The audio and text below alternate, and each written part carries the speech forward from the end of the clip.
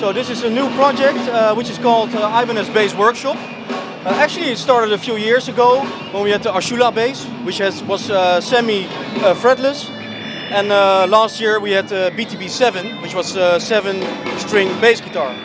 So these guitars, uh, these basses are actually uh, made for, for not for everyone because it's they're really special. So in this case, it's a fretless bass with fretboard until the first pickup, and it has a deeper cut for, uh, for the higher notes.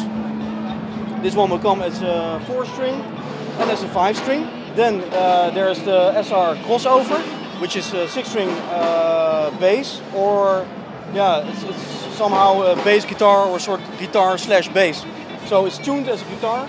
You can play guitar on it, you can play chords, but you can also use it as a bass guitar which makes it uh, a very versatile uh, instrument. Then uh, the last one for 2014 is uh, uh, BTB uh, 686.